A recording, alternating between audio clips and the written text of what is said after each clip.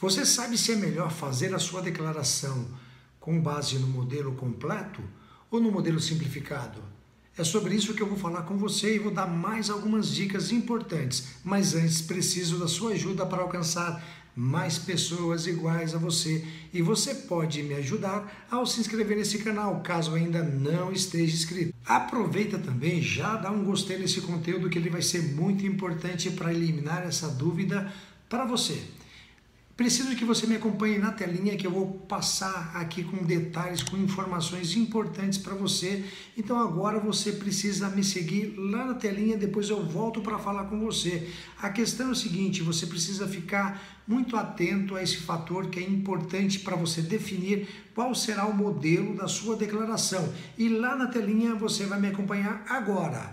Você tem que suprir essa dúvida, tem que responder de forma efetiva. O que é melhor? Você declarar pelo modelo completo ou pelo modelo simplificado?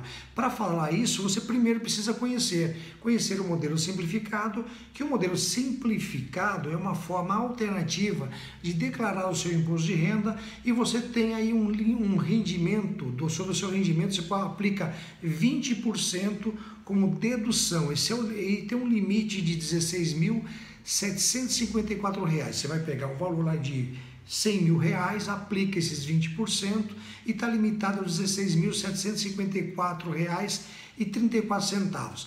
Esse limite ele faz com que você não leve em consideração os gastos que você tem. Todos os gastos passam a ser irrelevantes do ponto de vista para a base do imposto de renda quando você opta pelo desconto modelo simplificado. Já o outro modelo, que é o modelo completo, ele leva em consideração as deduções permitidas e tem alguns limites. Vamos entender um pouquinho mais. Quando fala assim limite, então os gastos e deduções eles diminuem a base de cálculo, diferente do modelo simplificado. No modelo simplificado, os gastos não têm nenhuma dedução. Você fica limitado àquela dedução que eu falei de 20%. E no modelo completo você deve avaliar a qualidade da documentação que você tem das suas despesas e também as limitações. Primeira questão é o seguinte: você vai verificar quantos dependentes você tem e você tem um desconto, uma diminuição da base, uma dedução aí no valor de R$ 2.275,08 por dependente. No caso de educação também, você tem aí uma limitação, que é a sua educação, a sua instrução ou dos seus dependentes, limitado a R$ 3.561,50 por dependente ou titular. As despesas médicas não têm limitação, mas é importante entender que elas devem ser comprovadas. Você não pode lançar uma declaração na sua declaração de imposto de renda uma despesa médica que não haja comprovação. Você também tem uma outra possibilidade que é o PGBL, quando você aplica uma previdência privada, você faz esse pagamento. Vamos imaginar que você tenha aplicado aí 10 mil reais, 12 mil reais, você está limitado a 12% do rendimento bruto que você teve no ano. Por exemplo, se você tem um rendimento de 100 mil reais, está limitado a 12 mil reais para você deduzir a base de cálculo do imposto. A pensão alimentícia também é dedutível, desde que ela seja uma pensão judicial. Se você paga um valor a maior, isso é, você pode até pagar por deliberação sua, por vontade sua, mas você deve estar limitado ao que está na, na decisão judicial. E a pensão sempre será uma pensão judicial que dá base para você deduzir. O INSS também dos domésticos, né? Se você tem uma doméstica que tem a contribuição no INSS para ele da Previdência Social, o limite é de R$ 1.200,32. Existe também a possibilidade para aqueles profissionais autônomos, onde ele pode lançar as despesas é, que são em decorrência da sua atividade e são lançadas no livro caixa. Mas é um detalhe que nós podemos falar isso em outro vídeo. Então, conceitualmente é isso. As despesas permitidas são essas despesas. Você deve levar em consideração que todas elas devem estar devidamente documentadas. E um detalhe que você tem que olhar agora para comparar entre os dois modelos é somar os seus rendimentos. Vamos partir do princípio que você tem aqui um salário de 70 mil reais, receba mais 18 mil de aposentadoria, um aluguel, um rendimento de aluguel de 12 mil reais, então você tem um rendimento total de 100 mil reais no ano de 2018. Somando isso, você vai fazer a base, calcular a base de cálculo com base no modelo simplificado. Você pega lá 100 mil reais dos seus rendimentos brutos, você desconta 20%, lembra que eu falei que é 20%? E você chega numa base de 80 mil reais, essa é a base do imposto de renda. Você está certo dessa informação?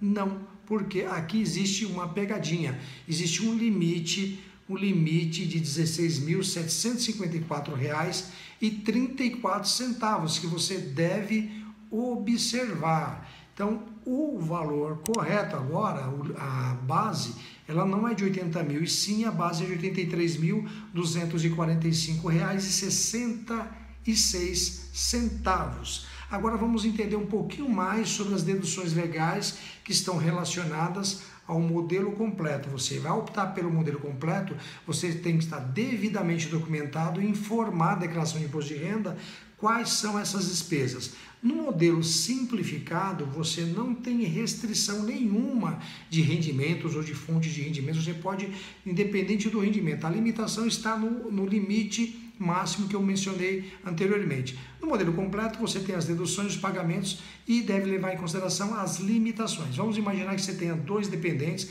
cada dependente dá direito a você a dedução de R$ 2.275,08, perfazendo um total de 4.550,16 centavos. Você tem aí outro caso também da educação, da instrução, pode ser sua ou dos seus dependentes, mas digamos que seja de dois dependentes aqui e você pagou 12 mil reais no ano, você pagou efetivamente 12 mil reais. Só que existe um detalhe, há uma limitação por dependente de 3.500, aliás, de R$ 3.561,50 perfazendo um total de R$ 7.123. Olha, observe que você gastou 12 mil reais, mas você só pode deduzir da base do imposto de renda R$ 7.123.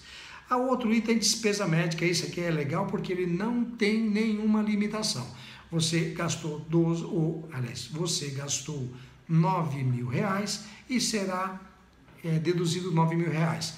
O que você deve observar é o cuidado com as despesas médicas, que devem ser devidamente comprovadas. Você não pode adicionar um valor que você não tenha documentação, pois o médico informará isso na declaração que ele envia para a Receita Federal, que já gravei um, gravei um outro vídeo aqui, informando que a DMED, ele informa para cada CPF o quanto ele recebeu. E a Receita Federal vai cruzar essa informação. Se você informar um valor diferente, certamente sua declaração cairá na malha fina. A outra questão é pensão alimentícia. Vamos imaginar que você pague 12 mil reais mas a ação judicial determinou um valor de 6 mil reais. Mesmo você pagando os 12 mil reais, a sua dedução tem um limite de 6 mil reais. A contribuição previdenciária do seu doméstico, você tem a limitação de R$ 1.200,32 e também tem aqui o PGBL, aquele plano de previdência privada. Se você pagou R$ mil reais no ano, você pode deduzir todo o valor. Por quê? Porque está limitado a 12% do rendimento. 12% do seu rendimento daria 12 mil reais, que nesse caso estamos simulando aqui é um rendimento bruto de é, tributável de 100 mil reais. Então você tem uma somatória de pagamentos de 45 mil reais, 750 e 48 centavos, mas só pode deduzir 35 mil 873 e 48 centavos. Então a sua base para cálculo do imposto de renda com base no modelo completo é 100 mil reais de rendimento bruto, menos as deduções, e você tem aqui uma base do cálculo do imposto de renda de R$ 64.126,52. Mas com todas essas contas que nós fizemos até agora, qual que é o modelo melhor para você? Nesse caso simulado aqui, o modelo completo ele vai trazer um benefício melhor para você, pois você poderá pagar menos impostos ou ter uma restituição maior pelo simples fato da base que você vai utilizar para calcular o imposto de renda, ela é menor do que a base do simplificado. Você vê que é 83 mil reais contra 64 mil reais. Consequentemente, você terá um resultado melhor optando pela declaração completa.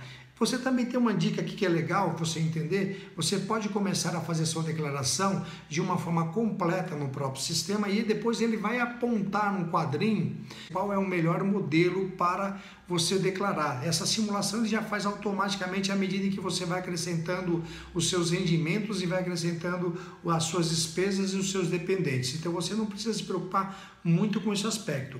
É importante você entender conceitualmente que eu expliquei aqui para poder operacionalizar na hora do sistema. Vou pedir agora para você compartilhar com a sua rede de relacionamento. Então compartilhe aí com a sua rede de relacionamento, com seus amigos, seus parentes, pessoas aí que possam se beneficiar deste conteúdo, pois o propósito aqui é divulgar informações e gravar conteúdos que sejam importantes para que você possa fazer a sua declaração de imposto de renda de forma tranquila e não caia na malha fina do imposto de renda. Eu vou aqui continuar gravando mais conteúdos para você e te aguardo num próximo vídeo.